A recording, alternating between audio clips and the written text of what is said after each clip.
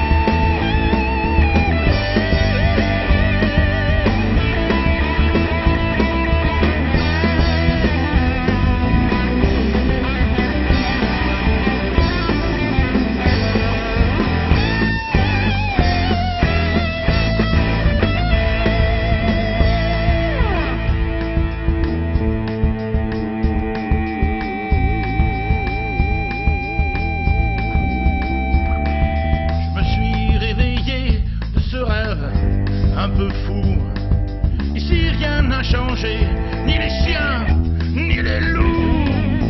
Personne n'a repris la Bastille, il est bien loin le temps des cerises, mais demain sera une autre chance.